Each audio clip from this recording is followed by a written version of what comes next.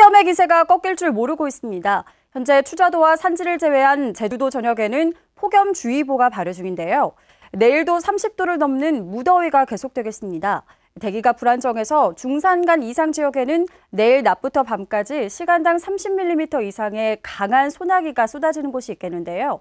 예상되는 비양은 30에서 80mm로 돌풍과 천둥 번개도 동반될 걸로 예상돼 이 지역에선 안전사고에 주의하셔야겠습니다.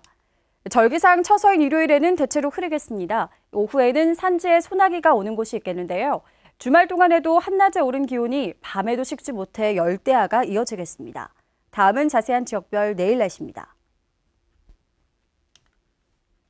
내일 최저 기온은 북부 26도, 서부와 남부, 동부 25도로 예상됩니다.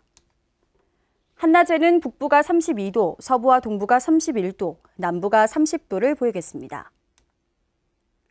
바다의 물결은 제주도 남쪽 먼 바다가 1에서 2m로 잔잔하게 일겠습니다.